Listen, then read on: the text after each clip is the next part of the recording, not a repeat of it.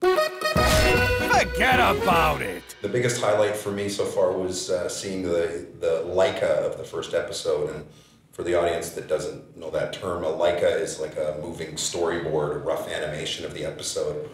And I think seeing the jokes come to life with little moving characters was, was very gratifying. Typically, uh, animation begins with a script. Once the script is done, we go into a record studio and record all the various characters telling the story. From there, we hire storyboard artists who then create still images per the script. And from the script, we go into a Leica, which is the still images blocked out to time with the audio, so we have an idea of what the project is going to look like. Any up, boys, it's my deal. One of the things that's fun about animation is, you know, after 20 plus years of developing these rules of storytelling, I get to throw them all out the window.